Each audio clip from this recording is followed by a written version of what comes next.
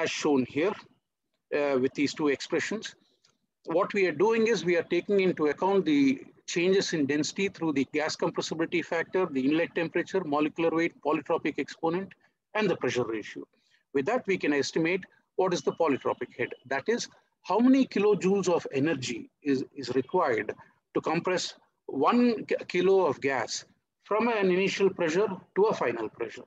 So higher the polytropic head, higher is the amount of energy required to compress a kilo of gas to the required uh, pressure ratio.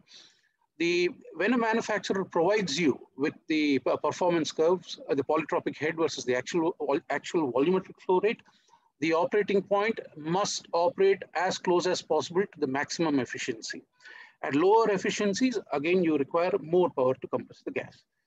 So, and, and on a final note, always, always operate the gas compressor within the allowable limits to prevent mechanical damage. Wait, let me remove this. Uh, yeah. Oh, boy. Yeah. Okay, now we go to the next slide. Draw. Yeah. Next slide. Oh, I haven't. Uh, yeah. Next slide. So what are the different kind of drivers that you have to, to, to, to drive a gas compressor? You can use gas turbines, electric motors, or steam turbines. Steam turbines have, be, have been, have, be, have been the, it's the oldest mechanism and it was used even during the colonial times or what we say we can perceive it as perceived as the Victorian technology. So back in colonial era when Queen Victoria was the queen, so we simply say Victorian technology. Now, steam turbines, you can reach pretty high um, power ratings, let's say 600, 700. I saw, I saw a post today, someone saying up to even two gigawatts, it can be, you can generate it. Because all you have to do is you have to keep adding more buckets and uh, you use superheated steam. That you simply raise it even higher and you try to extract the work as it passes through uh, the steam turbine buckets. So you can hit pretty high power ratings with, with steam turbines. However, if you wish to use a steam turbine to drive a centrifugal compressor, first you need a source of water, you need a water treatment facility, you need to uh, you need a water polishing unit to, to the given specification. You have to, you can have scaling issues if, uh, because if, if the water is not treated properly. You can have um, safety issues such as boiler explosions, or you can have tube ruptures. Um, uh, and steam, to generate steam, you need fuel and fuel costs money. So when fuel prices rise, the cost of steam per unit of steam also rises. So therefore it becomes your operating cost goes up. So steam turbines have their advantages, which is you, it, makes more sense to use them in power plants for, for uh, electricity, for to generate electricity. But in gas compressors, you can, uh, sorry, in uh, centrifugal compressors, you can use it but they but they come at a price. So then, so but with time, let's say the World War, Second World War was one of those moments where may, there were many inventions that were invented, and one of them was the aeroplane. But the starting from the propeller engine, uh, the, the, this thing which simply uses an IC engine, with the invention of the of the of the turbine by Frank Whittle, because the, the because a gas turbine was originally designed specifically to fly planes, jet planes.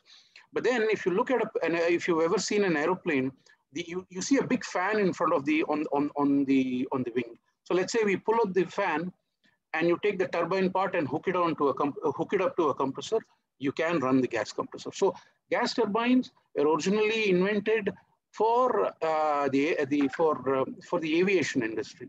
But with time, they found other uses for industrial application, applications also. Since the 60s and 70s, when the oil boom started, what happened was now, now, the thing is that you're in the middle of a desert. Because because if you if you observe uh, most of the the oil historically if you observe the middle east has been a great source of um, oil discovery. So from the 60s and 70s you're in the middle of a desert. You've got no power you've got no water You've got no um, uh, substation nearby for electricity. So what do you do? You can use a gas turbine. You can take a portion of the gas coming out of the wells and you can put a fuel gas uh, treatment skid, clean up the gas, and then push it into the gas into the gas turbine. So it's been used uh, in a, so depending on the location. So if you're in a place where you can you have neither power, electricity, or water the, in the quantities that you need, you can use a gas turbine and the fuel to it comes out from the wells. Let's say it's a booster compressor, a pipeline booster compressor. A portion of the gas from the pipelines itself can be routed to the gas turbine to drive it. The, but the disadvantages with using a gas turbine is emissions. You have COX and NOx emissions. You have much lower efficiencies, anywhere between 35 to 52%, depending on the, the model of the turbine. Uh, in a gas turbine, you have fuel burning and you can reach temperatures as high as anywhere between 600 to 2200, 1300 degrees Celsius. So, so, the, so when, when that happens, you can have um, uh, thermal cracking issues, you can have carbon soot forming, which means that you have to spend money on maintenance. The other problem is a gas turbine is sensitive to the ambient conditions. So when you're at mean sea level, the air is more denser. So it so so you've got uh, it, it's more denser. So when the density is more, it becomes easier to you don't have to so the, the turbine does not have to struggle to deliver uh, uh, uh, more output. But let's say you're in a hot country, the air temperature goes up because the gas temperature is hot. Naturally, the power output decreases.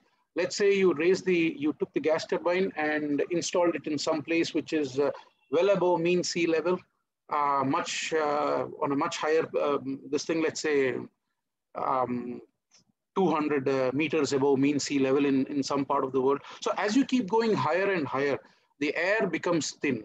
That is the air density keeps reducing. So again, the power output decreases. So there are certain disadvantages with, with gas turbines. The positives are when you've got no other resource, you can use the, uh, the, the, the, the natural gas from the wells itself to run the gas turbine. The disadvantages are maintenance, emissions, and uh, power output because of ambient conditions. Now, when these uh, uh, gas turbines were invented for aero applications, for the airline industry, it was for military applications first, and then moved to the airline industry. Because we are taking out the, the, the, the fan in front of it and hooking it onto a gas compressor, you are deriving these these these land and marine turbines. So the the so eh, so the, the the turbines that you see in process facilities are were derived from turbines that were made for aero applications. So that's why we say aero derivative turbines. They were derived from the aviation industry. Now, aero derivative turbines are smaller. They fit snugly into a platform there so because of because on a platform you have a space constraints. If you try to increase the footprint of the platform naturally the structure weight will increase more cement more metal you, you've got to put a lot of money into it. So you need something which is smaller and still packs a punch uh, giving you the power rating that you need. So aeroderivative turbines can be used in offshore facilities. Now aeroderivative turbines can also come in in a twin shaft design. So you can have a single shaft or a twin shaft. Single shaft makes more sense for power generation. So if you want 50 hertz uh, power, the generator must run at 50 hertz, uh, at, at a certain speed to generate 50 hertz, which means that the gas turbine connected to the generator also has to rotate at that speed. But uh, in, a, in the case of a gas compressor, when the feed flow rate keeps changing, it keeps fluctuating up and down, then the compressor speed, uh, the compressor speed also has to be altered accordingly. So that is where a twin shaft design helps you out. So, uh, a twin shaft design helps you out. So aeroderivative turbines are more for offshore applications and uh, you can also use them on uh, for onshore applications as well. But for onshore applications also, there's a family of, of turbines, what we call them land and marine. So GE offers something like LM, they call it LM, uh, I think 6000, LM 6000 is an example. I think it gives about 55 or 56 uh, megawatts of uh, power ISO rating, I think, but I have to check. I'm not sure with these numbers, but I have to check. It's just an example.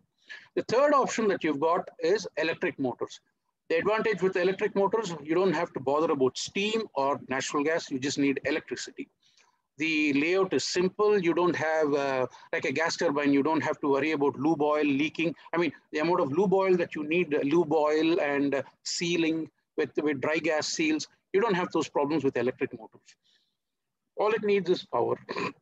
The advantage with the electric motors over the other two kinds of uh, drivers is that you've got very high efficiencies. You can hit as high as 98% efficiency. Now, the motors that you get are 3000 or 3600. That is, you can have a two, four, six, or an eight pole motor, and you have 50 hertz and 60 hertz current. So the formula is simple, 120 into F by P.